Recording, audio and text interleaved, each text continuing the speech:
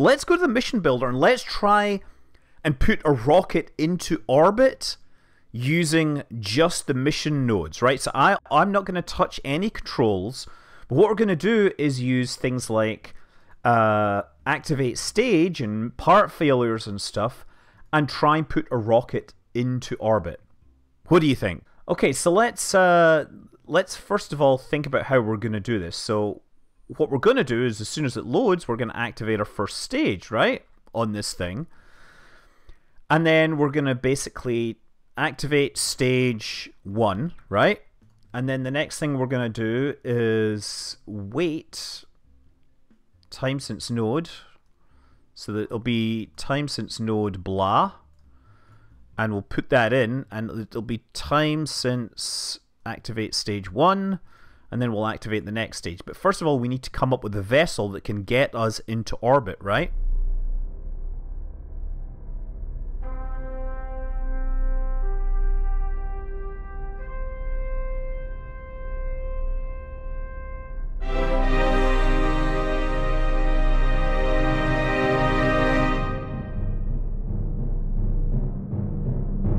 We'll call it Auto. Two seconds. And then activate stage four. Right, so we just don't know how long it is since this is the one that we don't know. We don't know how long this should be, right? So let's save this and launch it and see what happens. So I shouldn't have to touch anything. It should just do this on its own. Awesome! That was quite impressive, I have to say. So, computers, you just can't trust them. I like how the fairing is intact, but everything inside it exploded. 10 out of 10 would rocket again. Maybe I should just get rid of that center core. I'm going to do that first and then we'll also tell it uh, auto strut to it says grandparent part. Yeah, let's do that. Okay, there we go. So I'm hopefully not going to need to touch anything here. The real question is how high will this thing get? Will it actually get all the way to space? Uh, other stuff. Are you sure you don't need more boosters? I honestly don't know. Maybe I should actually fix these boosters so that they are less thrusty. It looks like a water tower. That's right. We are going to put the world's first water tower in space. No achievement will be so great or wait, what's the word?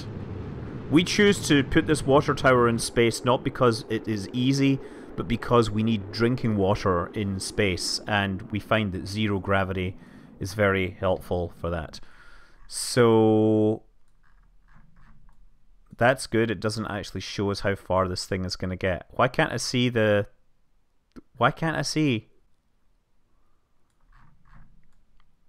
And we're kind of losing control here.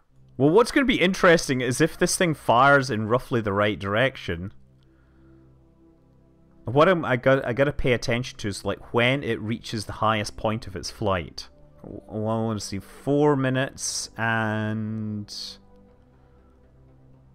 Okay, 4 minutes 20, right, so let's let's reset this mission. I've challenged everyday astronaut to make a Minuteman 3. Well, the problem with Minuteman 3 is that Kerbal Space Program doesn't have the thrust termination system that the Minuteman 3 has. Solid rocket boosters generally don't have any ability to terminate their thrust, whereas the Minuteman 3 does. Are the fins causing too much control in keeping the grav turn? No, we're not doing grav turns. We are doing crazy tornado type things. What's up with the nav ball? The nav ball is confused because the spacecraft on top is at 90 degrees. So that really, in short, Kendoka uh, 15 is correct. It is drunk. That's the only way to describe this. But I'm curious to see how it fails. Maybe, maybe I'm going to cheat on this first one, right? Oh, apparently I can't do this while moving across terrain. That is not a message I expect to have at this time. I cannot time warp because I am spinning too fast. What's slowing its rotation? What is slowing its rotation is the fact that Kerbal Space Program and many other games that use physics engines, they only use the Euler method for integrating the math forwards. And uh, it causes all sorts of things. It causes your errors, basically, to creep into the uh, mathematics. Okay, so actually we should have set our timer to about four minutes, but let's just see how this how this goes. We're still spinning at quite a fast speed. Can I? Can you explain thrust termination? Okay, so thrust termination systems is what you get on ICBMs because, of course, ICBMs need to. They they are solid rocket motors for you know reliability and uh, storability reasons. The problem with solid rocket motors is normally, let's see what happens. Okay.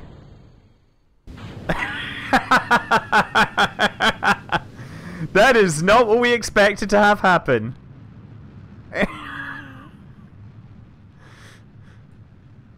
well, so much for that. I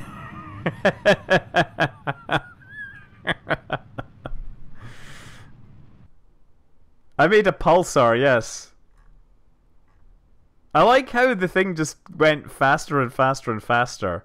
So anyway, yeah, so the Minuteman is a three-stage solid rocket, uh, rocket, right? So the first stage fires to completion, second stage fires to completion. The third stage, that's where they're getting ready to hit the target at a specific range.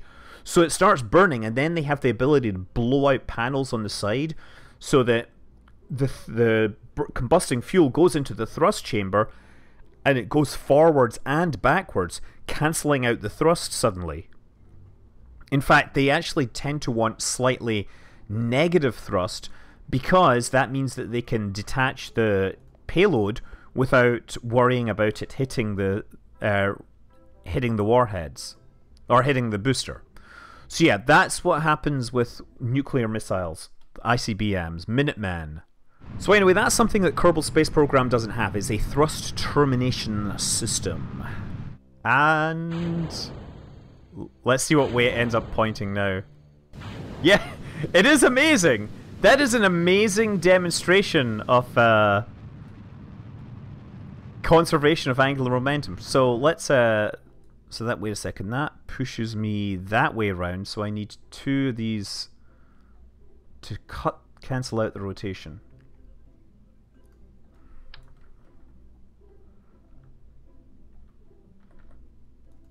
I'm going to set this to like the tiniest amount of this.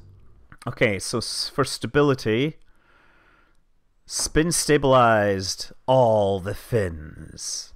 And so it's going to go fire at 4 minutes and 10 seconds, right? Oh, here we go. Okay, so that's... What we can do now is return to the mission builder, right? And we can actually restart it and we can change the values. So Obviously, this thing needed to fire for a few more seconds. So it said two seconds. So let's make that uh, eight seconds, right? So maybe these should be firing a little sooner. That's I'm I'm guessing what I'm saying.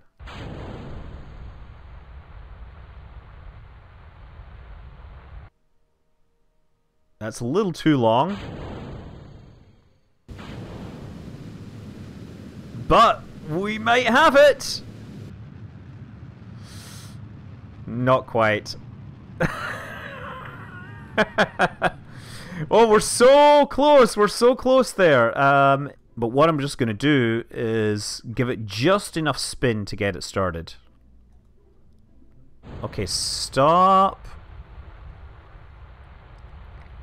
Oh, look at that. Now, can it keep this up? Can it remain stable for long enough? We're actually going retrograde here, so I hope I have enough delta V in this thing.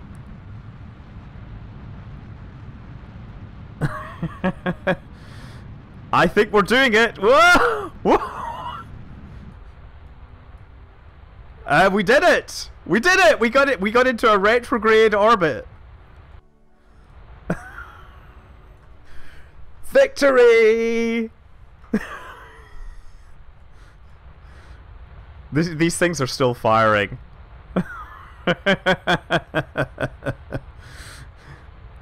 Excellent. So, I mean, that was a different, completely different way of doing it.